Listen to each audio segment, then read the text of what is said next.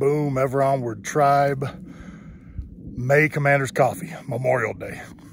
This is a tough one. Every year I feel when you have to make a Memorial Day post as a veteran, you, you focus appropriately on those that didn't come back. That's uh, the day we feel and pay respect to that and the, the, the heroes that didn't come home.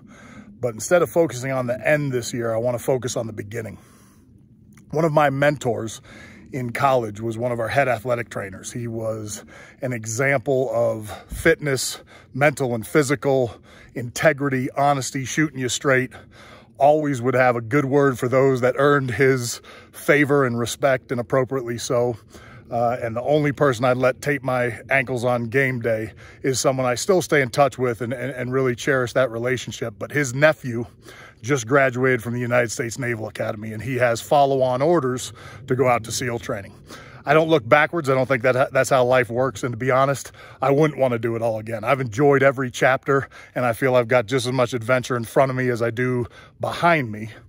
But if I was forced to do it, if you told me I had to, to trade with someone, I'd trade with this young line. If I could start day one at SEAL training and let that adventure play out again and the suffering that builds up to that, uh, I'd do it again in a heartbeat. But uh, I wish him all the best in this Commander's Coffee, and I want to think more about beginnings. Beginnings are where the good stuff happens. The end's the end, and and and when something closes, I think uh, hopefully it closes with satisfaction and a job well done.